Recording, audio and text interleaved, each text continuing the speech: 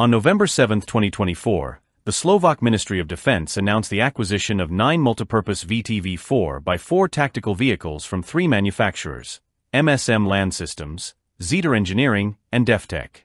This acquisition will evaluate the capabilities of three different vehicles across a variety of operational roles.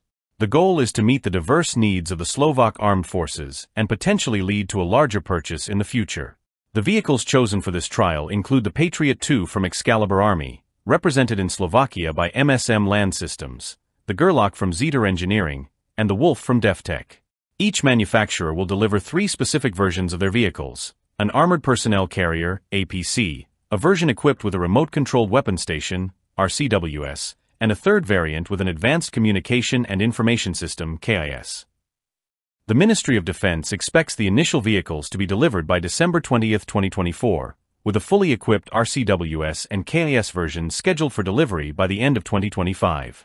The Patriot II, produced by Excalibur Army and offered by MSM Land Systems, is designed to provide modern versatile capabilities for troop transport and tactical missions. It features advanced ballistic protection, capable of withstanding mine explosions and small arms fire.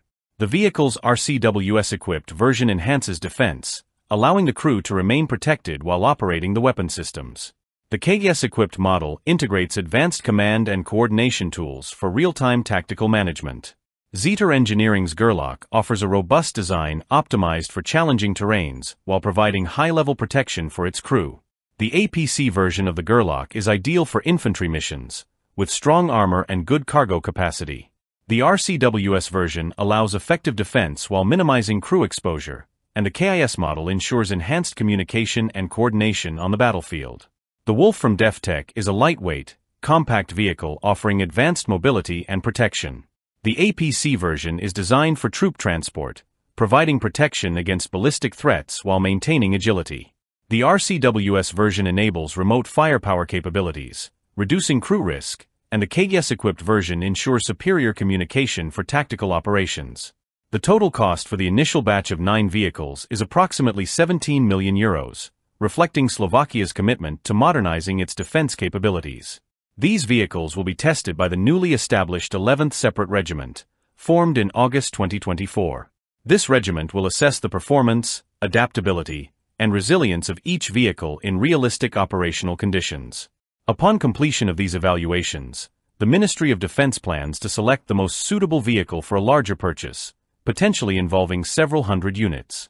This larger acquisition is scheduled for 2026, with a possibility of including vehicles from multiple suppliers, depending on the results of the testing phase.